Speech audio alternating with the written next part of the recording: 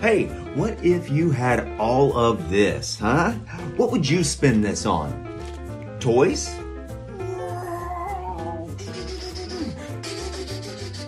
Video games?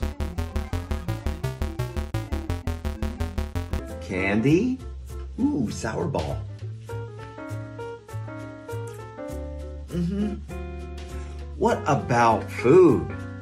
Yes, I'll take one of those, please. Thank you.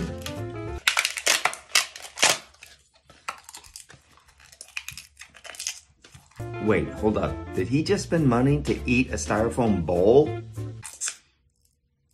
Mm-hmm.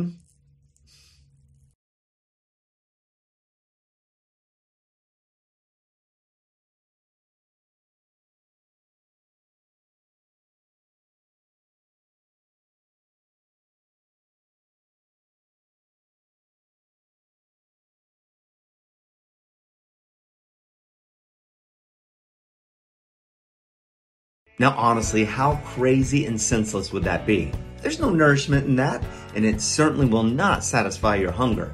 But we tend to do this when it comes to the Word of God. Listen to what the prophet Isaiah says in 55 2 through 3.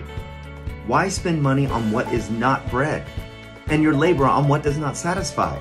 Listen, listen to me, and eat what is good, and you will delight in the richest of fare. Give ear and come to me. Listen that you may live.